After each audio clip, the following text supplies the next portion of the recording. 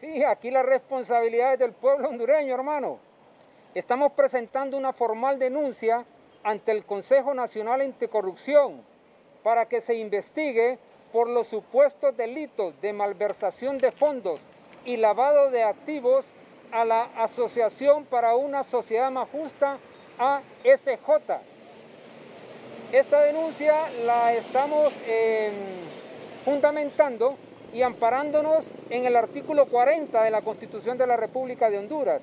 De igual forma, eh, al hacer un análisis de las actividades desarrolladas por la ACJ, observamos que, en primer lugar, no tienen el informe financiero para el periodo 2019 y al analizar por un equipo de investigación el informe financiero del periodo 2018, recibieron en concepto de donaciones 124 millones de lempiras. De igual forma, en el periodo 2017 recibieron la cantidad de más o menos 111 millones de lempiras. De esta cantidad de dinero, navegable, gran cantidad de dinero, destinada para fortalecer las capacidades de la ciudadanía y la buena ejecución por parte de las instituciones, instituciones gubernamentales, observamos que no se ha cumplido la misión de la ACJ. Todo ese dinero quedó en papel porque no tenemos nada concreto.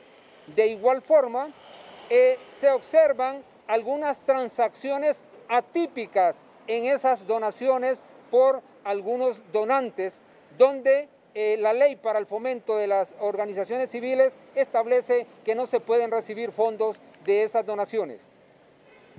¿A quién exactamente, a qué directivos de la ACJ está denunciando y por qué delitos, según usted, ellos habían cometido? Eh, recuerde que las instituciones son permanentes, los cargos son, eh, son transitorios.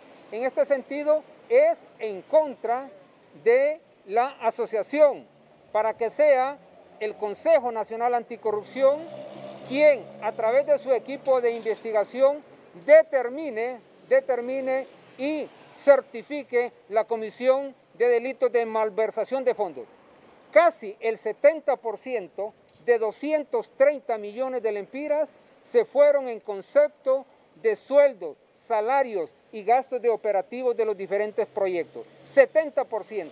Estamos hablando que de 200 millones de lempiras aproximadamente en dos años, 140 millones se fueron para sueldos, para salarios, para gastos de operativos de los diferentes de proyectos. ¿Y en qué, qué nos quedó a los hondureños?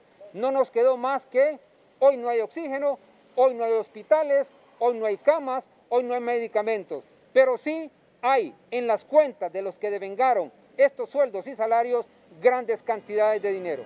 Le pregunto los nombres de las personas porque las instituciones no cometen delitos. Los que cometen delitos son los que la rigen. Bueno, en este sentido, eh, ASJ tiene un consejo directivo, tiene un consejo consultivo, tiene una junta directiva y tiene directores de los diferentes proyectos. En este caso, el director ejecutivo de esa institución, quien da la cara, quien dice que hace veeduría social, es el señor Carlos Hernández.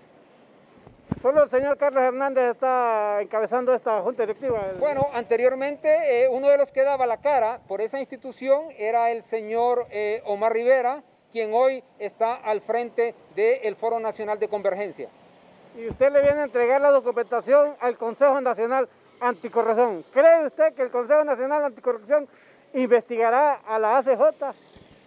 Es el Consejo Nacional Anticorrupción. Ellos han dejado en la práctica clara sus acciones contundentes contra la corrupción, contra el mal manejo de fondos. Es por eso que nosotros, por no tener los recursos necesarios para iniciar un trabajo de investigación, contratación de auditores, peritos y todo lo que se necesita para este tipo de investigación, recurrimos ante el Consejo Nacional Anticorrupción.